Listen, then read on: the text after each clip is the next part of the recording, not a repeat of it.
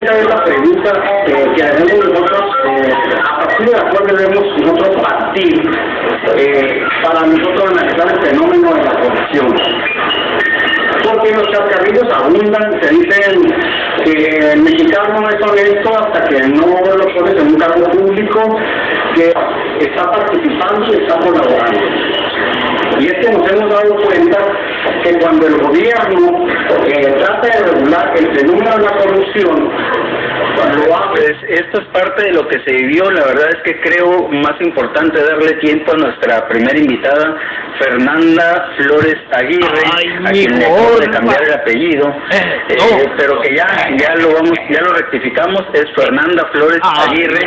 Ella eh, representa a los jóvenes en el Obsérvese y nos llama la atención de que ese ímpetu y lo platicábamos con Mari ahora hace unas horas de que nos cayó muy bien, nos cayó muy bien A mí por esa fortaleza, esa dedicación y ese esmero que está eh, metiéndole a este proyecto. Primeramente nos gustaría, Fernanda, que nos expliques qué es esto del 3 de 3, eh, la iniciativa que ciudadana que se pretende llevar a cabo. Sí, primero, señora Luis, muchísimas gracias por la oportunidad de estar aquí. Un gran saludo a tu auditorio. Muy, muy buenas noches tengan todos ustedes. A los jóvenes en lo que es el Buenas noches. Observatorio Ciudadano, el Observece. Nosotros bien estamos aquí con esta iniciativa ciudadana de ley 3 de 3.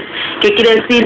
Hacer obligatorio que todo servidor público de elección popular haga sus tres declaraciones, patrimonial, fiscal y de intereses. En pocas palabras, se trata de detectar con cuánto están entrando al cargo público y con cuánto están saliendo. Es como un tipo SAT, pero específicamente para el servidor. Para el servidor público. Ahora bien, para poder hacerlo realidad a nivel nacional, junto con el Instituto Mexicano de la Competitividad, junto con Transparencia Mexicana, Observes estamos juntando 120 mil firmas. Ya tenemos más de 170 centros de acopio a nivel nacional. Pero aquí en Baja California es donde estamos metiéndole todas las ganas por parte del observatorio, precisamente porque lo comentábamos en la mañana, qué, qué mejor que brindar ese mensaje de que somos una ciudadanía organizada, de que en realidad podemos tomar las riendas de lo que en verdad nos pertenece, que es este Mexicali, como jóvenes, como ciudadanos en general, que podemos mandar el mayor número posible de, de firmas y poder hacer realidad esto. En serio, es una herramienta, es una herramienta ideal para batir la, la- la corrupción. Y bueno, para hacerlo realidad, eh, tenemos lo que son los, los formatos. Y no los formatos que a estamos invitándole a todo a ciudadano las que pueda descargar desde cualquiera de las páginas, ya sea ley 3 De Colima, MX o güey. bien desde nuestra página eh, personal de Observese, es una página de, de me gusta, lo puede encontrar como Observese y ahí va a poder encontrar lo que es el link de descarga del formato. El formato en realidad es sencillo, cada formato cuenta con 10 ¿Puedes presumir los que yo imprimí, Fernanda? Así es, de que el señor Arbizo dijo, yo primero me subo al barco y dice, me comprometo mínimo con unas Nos firmas". comprometemos aquí en Temple Social, Mari y tu servidor. Pues la verdad que sí, muchísimas gracias, se comprometen a, a, a unas firmas que la verdad que que eso es lo que estamos buscando, que en realidad que como ciudadanía nos organicemos, que aquí se trata de un trabajo completamente de todos y en realidad un, un logro de todos, porque esto, créanme que, que es para todos nosotros, nosotros como californianos, nosotros como mexicanos. El, pues bueno, les presumo. Sí, cómo no. Aquí lo que es el, el, este es el formato, cada formato viene para lo que son 10 firmas.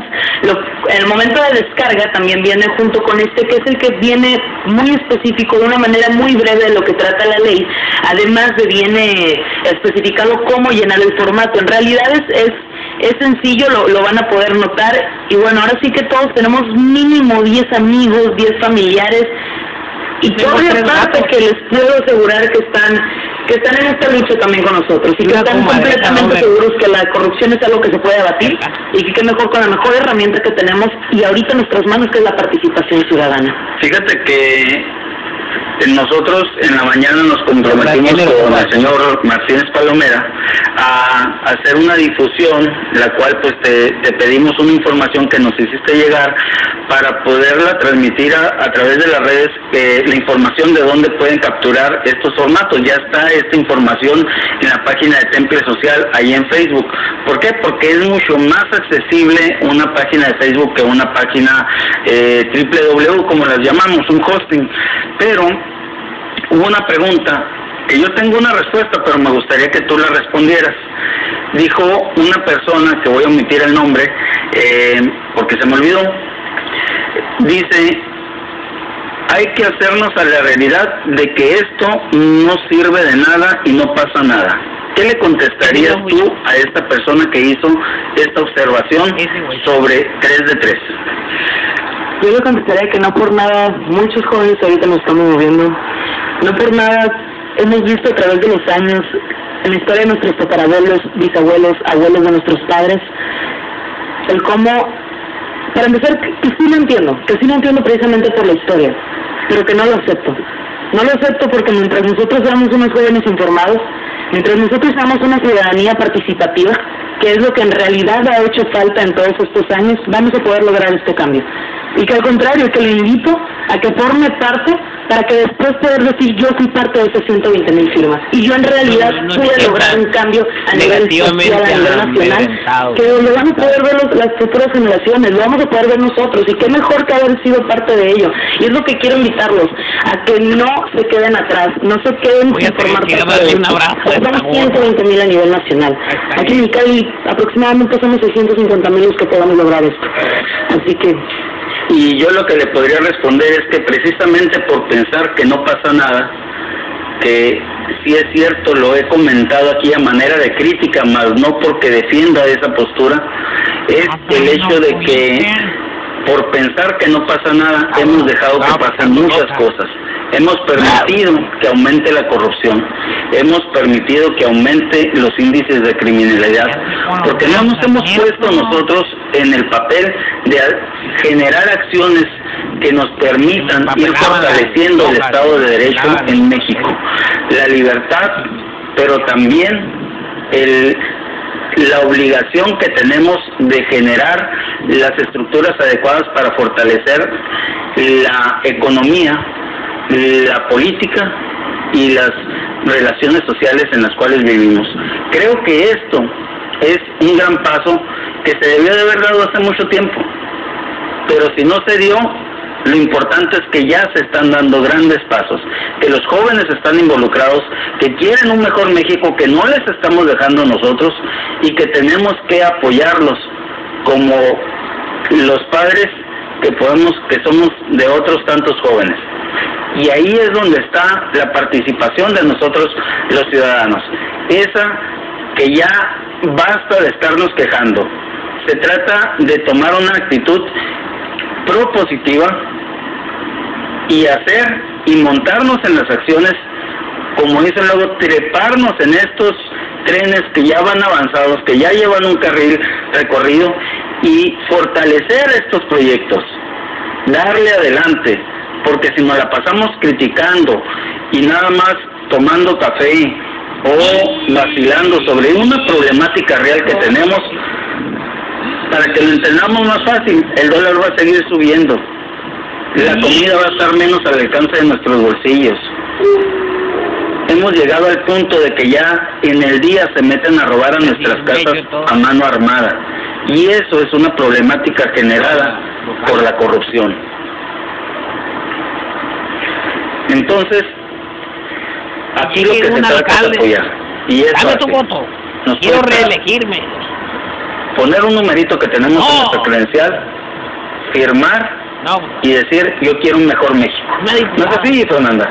Así es, además cabe destacar que, que no se ocupa copia, no se ocupa foto, es simple y sencillamente como lo nombra una numerología. Ah, tenemos en, un, en una hojita de papel y en nuestra credencial de lector la oportunidad de poder un México más grande. Y la verdad que yo sí les quiero invitar otra vez a que descarguen el documento, a que vayan entre las personas en su colonia, entre sus familiares, entre sus amigos y puedan, puedan hacer esto realidad. Ahora sí que entre todos vamos a poder, cada quien desde nuestro pedacito de Mexicali, vamos a poder construir algo muy grande. Y los invito a hacer, confío plenamente y créanme en el talento que tenemos como no y no, poder levantarnos y decir, tengo una levantarnos con la mejor arma que tenemos, que es la participación ciudadana. Dice transparencia. Es decir, que ya, que ya no queremos esto y que estamos dispuestos a la información pública. No destruir, construir con este tipo de herramientas. Ellos ya les comen. Eso que tanto anhelamos. Yo quiero dos cosas. Una, preguntarte dónde van a poder dejar eh, los documentos ya firmados. Dos, ¿hasta qué día tienes para poder recoger esta, eh, para que las personas te puedan entregar este documento? Y la más importante de todas, y, y, quiero hacer esta aclaración porque va, va, a ser un detalle que ustedes no se lo esperan, ¿eh? Fernanda, ¿qué edad tienes? 21 años. 21 años. ¿Saben por qué le pregunto? Porque se me hace muy bonito que Fernanda, las veces que me le he topado, va acompañada de su papá o de su mamá. Ahorita aquí en el estudio está su mamá. Y cuando me la topé en el Congreso y ahora que estuvo en Grupo Madrugadores, iba no acompañada porque y fíjense cómo lo voy a decir, porque los ocupe. Porque los ocupe físicamente para desarrollar algo. Pero ese apoyo moral que ellos les están dando a, es, a ella, verán cómo fortalece. Y eso es lo que genera un mejor joven. Y un reconocimiento, señora, a usted a su esposo, dígales que muchas felicidades por esto que ustedes están forjando y están haciendo y eso implica la responsabilidad de la que muchos de nosotros decimos no nos alcanza el tiempo, no tenemos momentos para poder apoyar a nuestros hijos. Aquí se están combinando y verán que qué fortalecido sale esta jovencita a hacer declaraciones, a hacer entrevistas y a seguir buscando un mejor México para todos nosotros. Nos vamos a ir a comerciales, pero primero si nos puedes dar los datos, Fernanda. Claro que sí. Primero, sí, nada más, a mí también me encantaría agradecerles porque ellos son mi motor de cada día y ellos me han puesto el ejemplo desde chica que las cosas se pueden lograr con pasión, con cariño y con mucha dedicación y responsabilidad. Pero bueno, también otro fueron preguntas muy importantes y es que sí tenemos diferentes centros de acopio en Mexicali, inclusive en Tijuana, en Ensenada. Eh, los centros de acopio, al igual que lo pueden encontrar en nuestras redes sociales, les comento los principales que tenemos, que son nuestras oficinas en Avenida Galaxia 18A en Parque Industrial Mexicali 1. Tenemos de 9 a 12, 1 de la tarde en lo que es enfrente de, del Ayuntamiento de Palacio Municipal. Eh, también ahí mismo enfrente de Palacio Municipal en lo que es nuestro hermoso monumento, a los pioneros, que es a ellos donde les tenemos que rendir estos cuentos y demostrarles que por lo que ellos vinieron a Mexicali y se instalaron, es por lo que nosotros estamos luchando, que está también ahí enfrente del Palacio Municipal de 5 a 7 de la tarde. Y bueno, esos son en realidad los tres principales que tenemos, pero también está la Coparmex, también próximamente va a estar Canacintra, y los invitamos a quienes quieran ser centro de acopio, con todo gusto se ponen en contacto con nosotros y que seamos más los que sumemos. Tenemos hasta el 15 de marzo, son 15 días, son 15 días en donde créanme que en un solo día una sola persona puede contar más de 100 firmas. Estoy completamente segura de ello. Podemos ir a nuestros colonias, podemos ir con nuestros vecinos, familiares, amigos, en una reunión familiar, dense tantito el tiempo para conseguir firmas y van a ver que van a poder conseguir. El domingo, todos los días, créanme que son dos semanas críticas en las que podemos demostrar esto y podemos hacerlo realidad y básicamente pues Bueno, pues te agradecemos mucho y yo creo que Arturito te va a dar la firma, por eso se ve muy emocionado, así que ya te conseguimos una firma más. Nos vamos a comerciales. Bien. social. Y youtube.com diagonal, facturas y notas, y el Facebook, facturas y notas. Me queda como un minuto, un minuto y medio. Resulta que les platicaba ahora a las personas de Instituto de Transparencia y Acceso a la Información Pública de www.esitai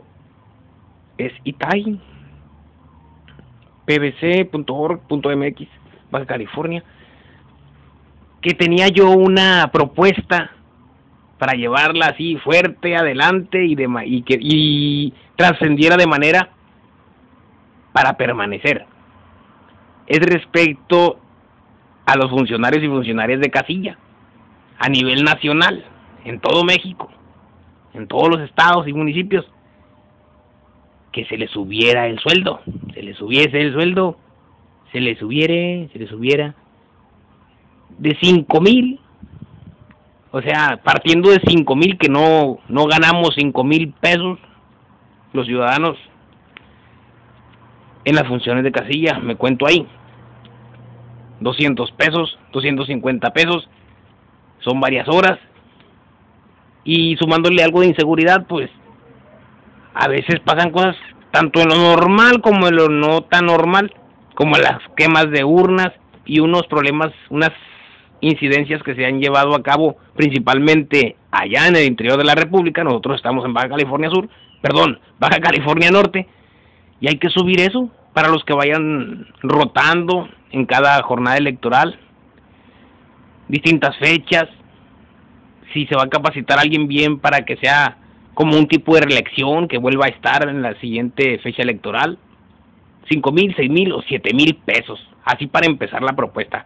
Eso es todo. Voy a cortar el video porque si no se me pasa el tiempo. Y esté yo o no esté yo y que eso quede ahí. Los funcionarios de esos que estaban en, en, el, en el efecto sonoro de que se subieron el sueldo, ya se lo bajaron, ya se los bajaron y porque a la sociedad no le pareció eso.